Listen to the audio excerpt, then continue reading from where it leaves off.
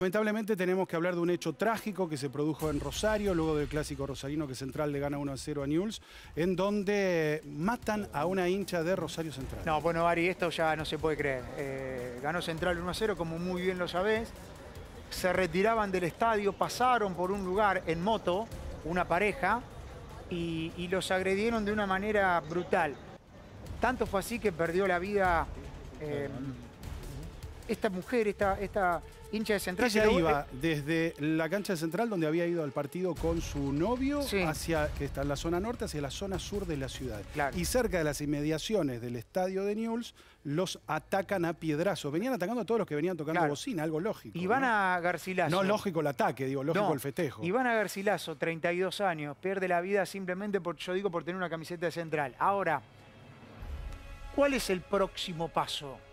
Que cuando vuelvan a jugar Central y Newell, las autoridades digan, miren que antes, durante y después del partido nadie puede circular por la ciudad con camiseta. Y no puede festejar. No se puede Es un festejar. delirio, un delirio. No, pero es increíble, no, no se puede entender esto, no se puede avalar, no se puede entender.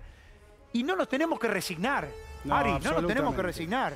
Para nada, para nada, porque lamentablemente siempre terminamos hablando de hechos como este, de lo mismo. Y lo que vamos a ver ahora es este video grabado por uno de los supuestos atacantes, personas, en este caso hincha de Newell's, puede haber sido al revés también, porque ha pasado de un lado y del otro y con distintos equipos del fútbol argentino. Mirá. ¿O no? Que vengan a tocar bocina. Que vengan a tocar bocina. ¿O no, gorila? Te lo desarticulo, boludo. Ay, ay, ay. Ay, ay, ay. Me hice un par de adoquines. Te lo desarticulo al primero que pasa tocando una bocinita, boludo. Hoy de Goyo un par. Eso es, ahí, Pellegrini Lagos, una zona muy transitada de la ciudad de Rosario. Estamos en vivo allí en Rosario con Lorena Arroyo. Hay una marcha para pedir justicia. Lorena, muy buenos días. Ariel, muy buenos días. Sí, aquí estamos en el Centro de Justicia Penal, donde ahora a la brevedad va a hablar el fiscal que tiene la causa para dar mayor información respecto a quiénes son los culpables de este asesinato descabellado que se produjo hacia Ivana, esta mujer de 32 años. Estamos aquí con los familiares que vinieron también a manifestarse, a pedir justicia. Una de ellas es eh, la tía, estamos aquí con ella. ¿Qué tal? Muy buenos días. Y bueno, eh, en principio te pregunto, lamentablemente, bueno, ¿cómo estás? Buenos días. Y como se pueden imaginar, destrozada. Destrozada porque Ivana tenía 32 años, venía contenta de, ver un partido y, y cuando transitaba por la calle Videlago antes llega Pellegrini le tiraron una piedra. Ni siquiera, ni siquiera estaban a los bocinazos ni festejando nada. Agarraron ese camino porque ya era de noche y era lo más fácil y lo más rápido para llegar a su casa en la zona sur. Así que no hay palabras, no hay palabras para esto. Lo único que estamos acá todos reunidos, tanto sean familiares como amigos o compañeros de trabajo, para pedir justicia.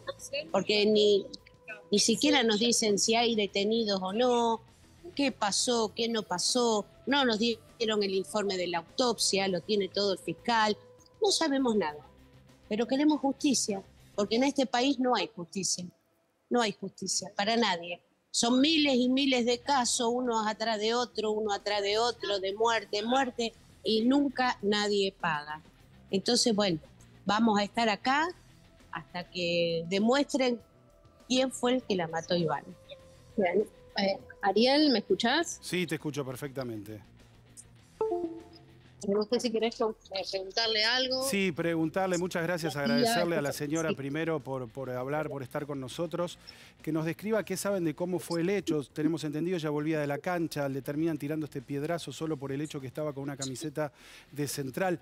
¿Ya venían, saben si ya venían en el lugar allí tirando piedrazos a otras personas? Digo, porque nunca se vio presencia policial en todo ese tiempo en donde venían atacando a, a, evidentemente, a hinchas que volvían de la cancha.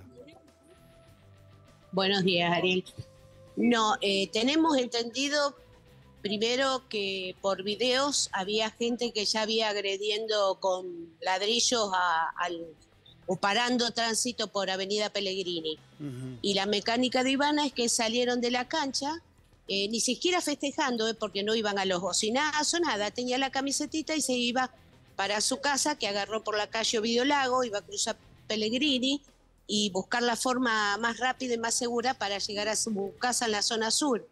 Y por el solo hecho de tener la camiseta de central, le tiraron una baldosa, que creo que también tenía cemento, y se la dieron en la cabeza y la mataron.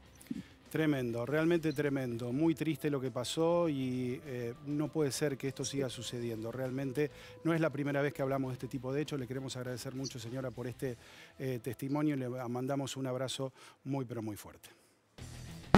No.